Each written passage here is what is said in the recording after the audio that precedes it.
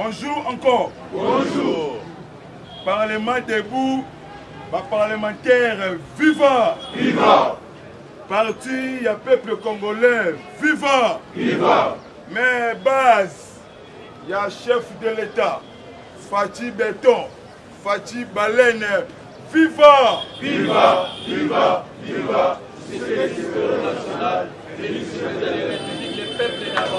Béton, béton.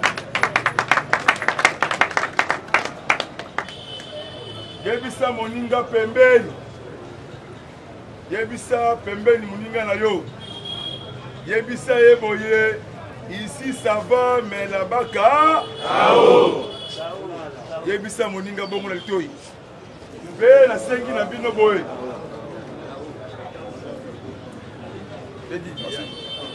Yeah, continue. udps viva viva merci na papa etienne wa mulumba super hero na national beta maboko mpo na etienne wa mulumba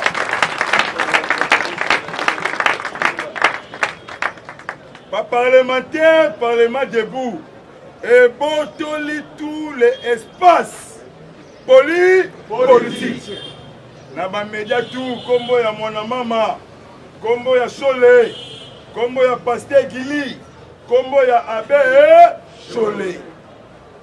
En tout cas, mpo totamboli droiture ya papa Etienne Wamulu Wamulumba. Mais parlement debout ezangisi bango espace. Moyen batambola eza te.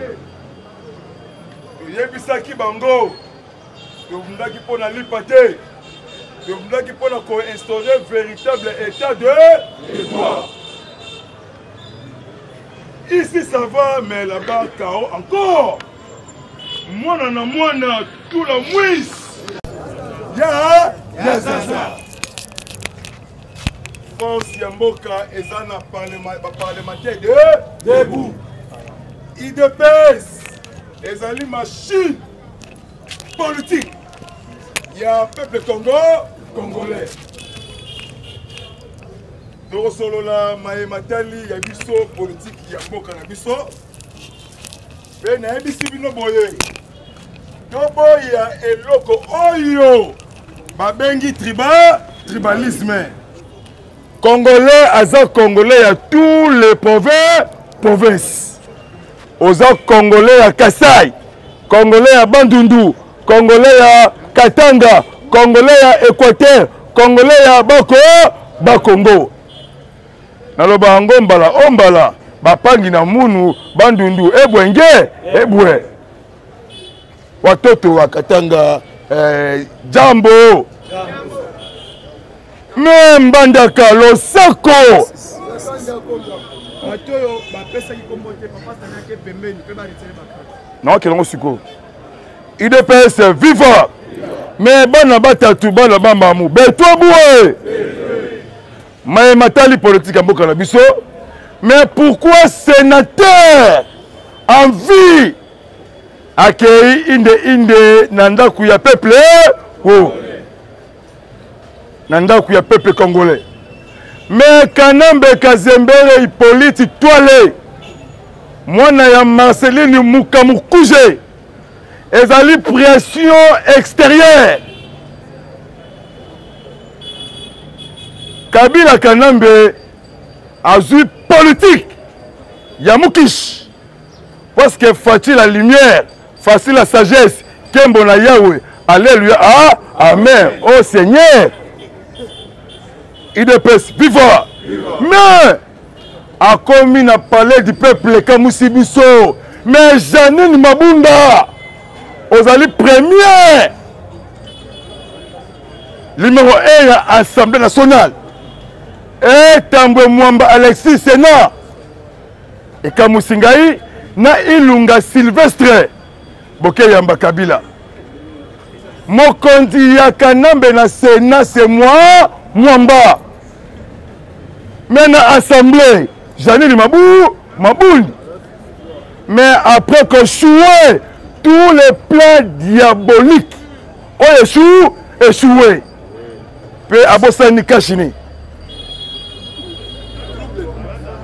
mais agitation poli politique bocomprendre wana eza message eza message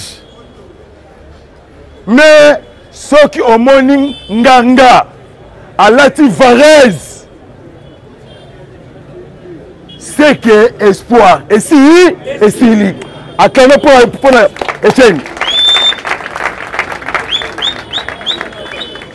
balakisi ye na kati ya, ya, na kati ya, ya sale batie varese mais varese ezangi limero mais oui fo bakoma sénateur ah en vie mais double ko il a best viva sikoyo yaya na bandi mwana mama e eh. hey. Eh. mwana mama ah. mambu maso me mambu ke maso bele kabila se fini bientôt à la barre à la à la barre qui cherche qui trouve qui trouve qui si qui supporte mais kabila a commis ya beaucoup de crimes les femmes violées pillage des ressources nature naturelles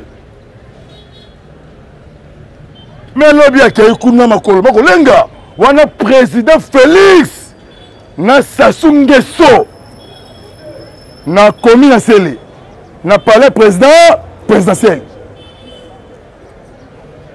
mais ye azalaki na plan moko diabolique mpo na ye apostule mais pourquoi kabila akei parce que lobi na angola idps viva lobi na angola ezalaki réunion coopération bilatérale gilbert kakonde na luanda na angola autour du table basigne protocole d'accord udps viva kosécuriser tous les fonds frontières et matière domaine ya seki sécurité parce que kabila bapesi ye avertissement na bame américain parce que monesco abanda kojoue biso double jeu monesco akoopere na bamaimai auto défense na haut plateau de minembwe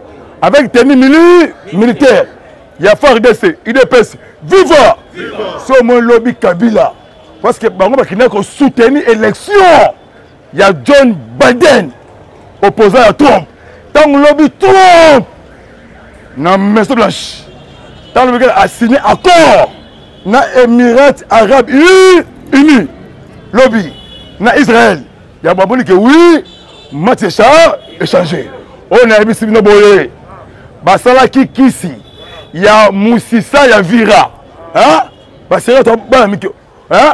sikoyo mokisi ebebisi mosisa ya vinga moye bagani eh? eza te eh? idps viva pour votre info information merci ndeko oza beni Mais Fatih la lumière, Fatih baleine, Fatih pamba, Fatih la sagesse historique, historique. Mais Kembo na Nkolo. Alléluia. Ah, amen. Oh Seigneur. Hein? Il est pas si va. toyebisaki bango idps ezali patrimoine national Merci. Et internat international. Mais Fatih silence radio. Ebi que au 19 au 20 septembre baka yandi omukama omukama te. Merci ndeko. Pe lisusu tozala na esprit ya tires parlementaire Pongo Ngandajila et Etienne Wamulu Kulumba bakangi moko biso tout toke komitika na makala eh, wo me elobi ekamusi ngai tambwe mwamba lexi il fallait pas asala discours wana fallait pas eza na qualité ya assemblée na nationale Pe azoloba be to créer eh, compte bancaire. Papa oui, tosala élection sikoyo te. Tosala récent recensement. Pe deuxième, toboyi ba ingérence étrangère. Oh, yo, yo otelemela États-Unis. Otelemela Amérique, euh, Israël.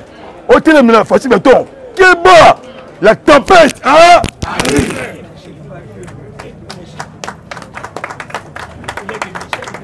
udps viva nde eza boye parlement debout tina tv5 tina rfi partout donc tobotoli bango espace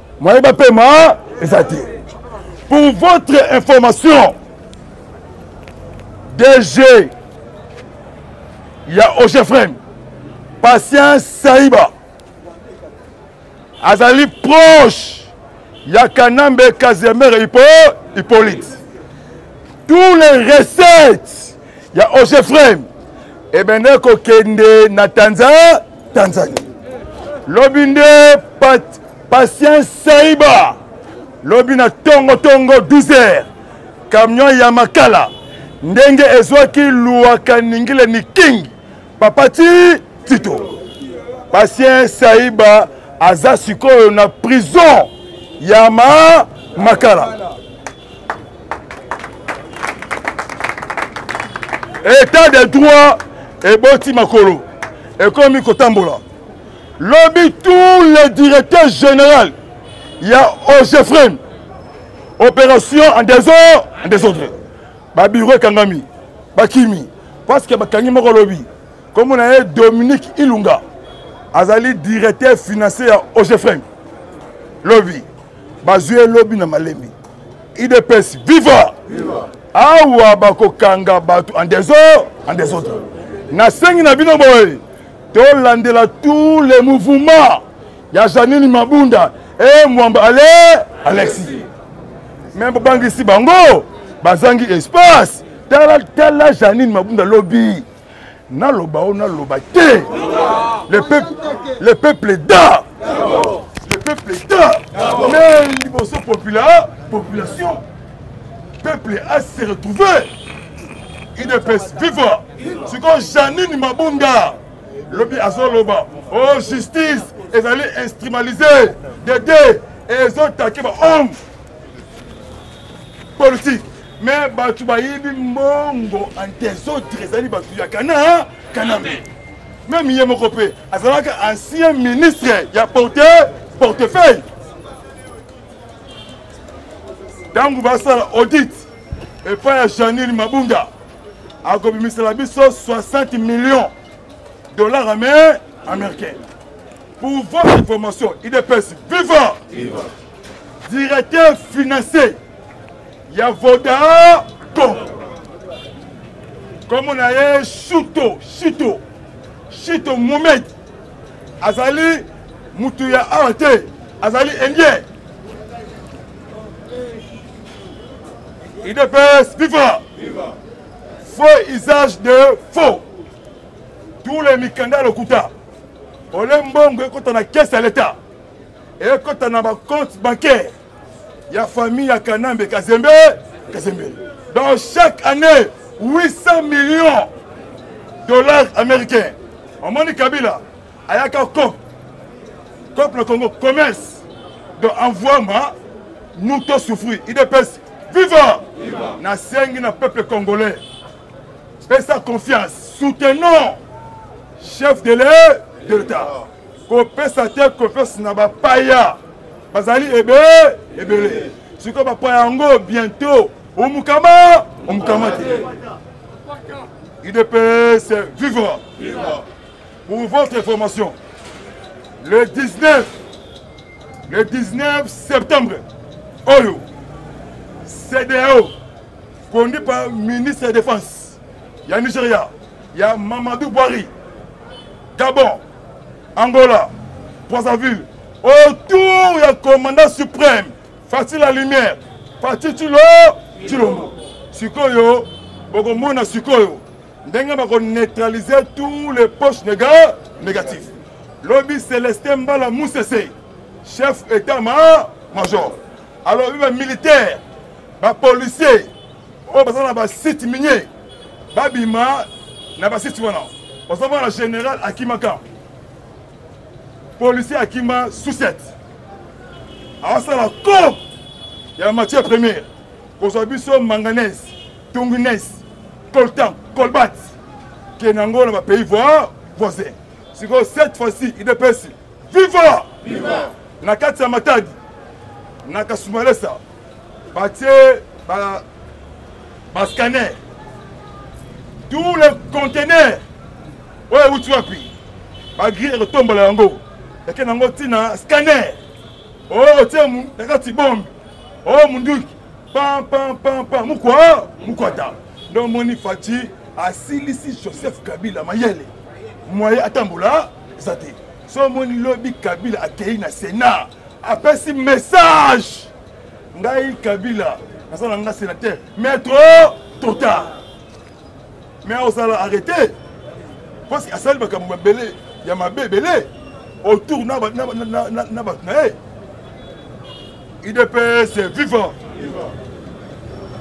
nani oyo ateka iranium ya shinko lobwe lobi na departement d'état américain basali liste ya bato oyo bateka iranium oyo ekenda na corée du nord oyo ekenda na chine oyo ekenda na afghanistan oyo ekenda na pakistan sikoyo na irak nde eza awa lobi na ba 13 12 heures wanaki richard muyej Jean Muyej alobi ngai nateka te uranium ya Shikolobe.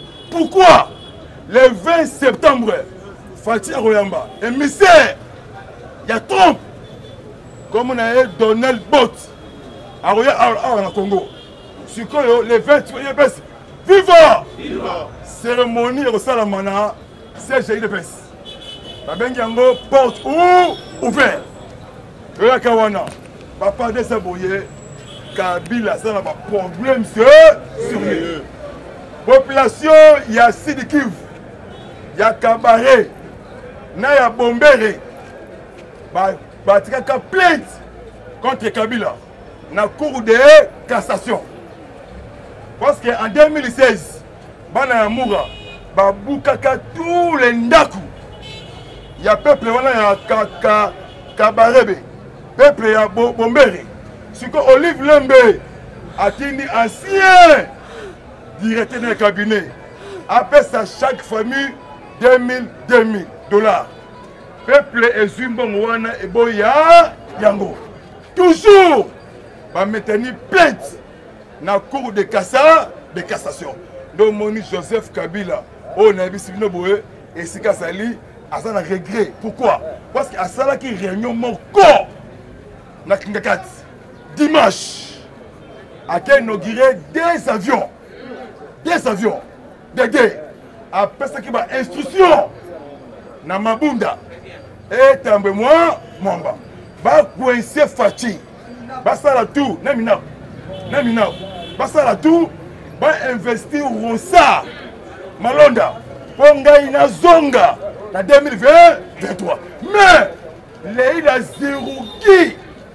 Oh la monnaie La monnaie Abina, mais c'est toi A beaucoup de, de problèmes. Bientôt les Américains. Mkama Mkama mwana mama e mine nde kanambe soi disant china rambo atali likolo aye ju juste tala moto abosani kashine meme kosolo boko abosani parce que ver vertige donc kizungulu double idps viva viva na tike na debo trop bon mwana mama e mwana mama sikoyo monesco azwi pression ya bapays afri africain bando banda métier de la paix oyo oh, mpe na congo ekotaka te nde omoni monesco apesi fardc 3 hélicoptère sophistiqué ekiti na ouganda idps viva sikoyo lobi balobi boye tous les groupes armés oyo akoya te ntango tokobanda opération meme okimi na rwanda oke na ouganda na malembe ti kuna tokei tokei sikoyo lobi président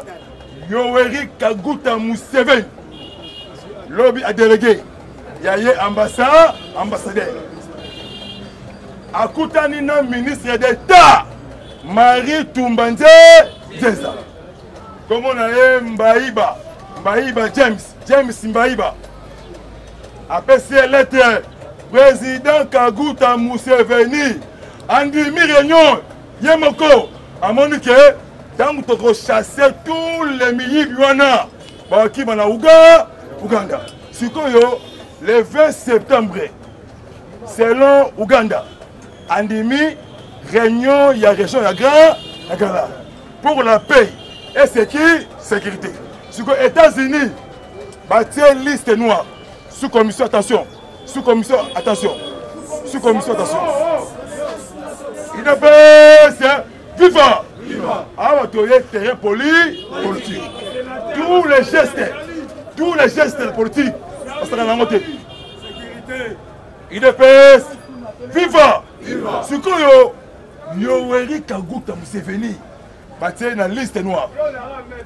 Na président Kagame. Pourquoi les rebelles FDLR rwandais bango nde bango massacre biso des autres les autres les rebelles ougandais origine na nkombo ya adf le fnl burundais na uvira baosala makambo en desordre en desordre vital kamere luaka ningila ni king abimi te aza toujours na makala pavillon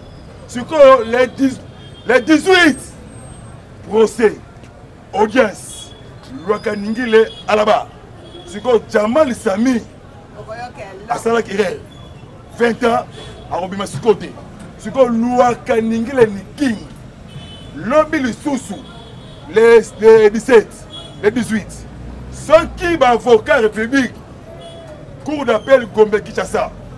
Papa Kero, papa Pierrot bakenge vita.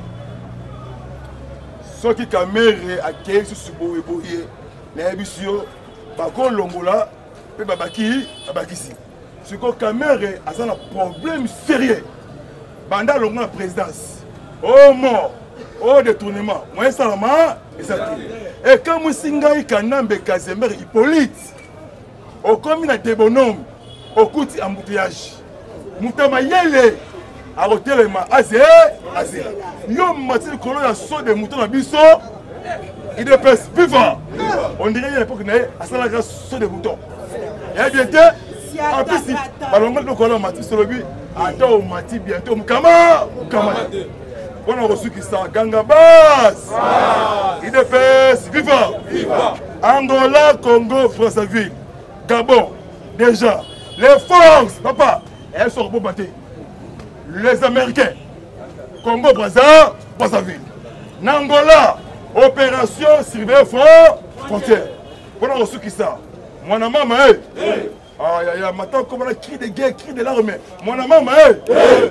na océan atlantique océan atlantique ezali océan eza na île batie deux base base wana base moko mona yango set hélène na base samson britannique na bamere américain ou kazu parce que kabila bainterdit ye akende te na afrique au pays asie mwana kende eza te soki asate te o oh, butu butu ya masi likolo bokomona baavion de sous-marin ya israel américain ye akendaka boye ezolanda ascoto malembe na guatanamo abu eh! oh!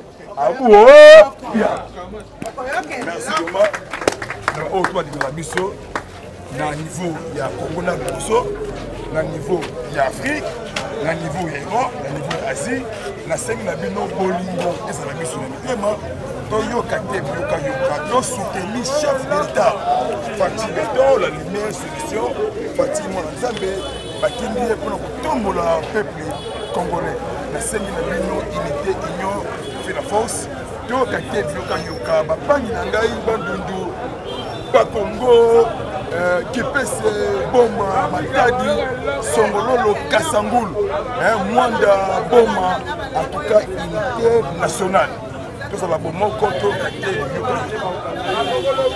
bana batatu bana bamabetwa partout libaya katoka libumba bolingo équateur ngemena mbandaka partout vraiment unité ezala biso motema lima kisangani pipile bibende aboma bolingo mboka oyo ekochange nde baza wana makolo makolenga parceke bakomi kobanga bamoni ke la tempete arrive eh, eh, bientôt nabosani te na katanga toto katanga butembo uvira uzizi fils sid et non kif autour ya pays na biso biso tozali baparlementaire debout pour surveiller mission de conservation du pouvoir ti mokolo yesu akoya pasteur gilit pasteur gilit abe jolie oyo ya biso ndepes ozwi na gile kalubi ndepes ozwi nga liyake mwana mama tozwi biso tozali bo bomoko ba président kebano ba moïse maoka tokomekaka intérêt général le peuple sont congolais boyoka biloko yoka te je vous assure vous encore ici ça va na bakao pourquoi parce que mec amer ambassadeur américain alobaki la tempête arrive bientôt oyo nayebisi bino boye kabila c'est fini soki omoni kaka nganga alati paris oyo ezangi numero akoti na terrain ke espoir ri esili asalaki kisi ya mosisa ya vira ya bale na kisi wana eponi na mokishi papa etialiwa bamolumba oyo nayebisi bango nde baza wana bamata bakita tosangisi bango tout place moko idps a joue eh, devant opposition pouvoir majorité au pouvoir pour surveiller eh, pouvoir oyo tokufeli ebele mpema bana batatu kananga libumba katoka boyoka biyokayoka te oyo nayesi bango bakolela ma ya miso bimi a motema kabila bientôt alaba parce que wana ke eza distraction pour distraire opinion congolaise kabila absue beaucoup déjà kabila asali masacre ebele ya beaucoup de fausses communes de louer esprit ya oni na kasai 2016 merci vraiment bomoko unité vraiment au revoir nzambe abatela bino bodivise biso te bosangisa biso bosunga biso kaka na baconseil mbongo ekoya mituka ekoya tokozwa yango mai tozana bagare pour chasser tous les canambistes bakende baso kotaki merci au revoir ciao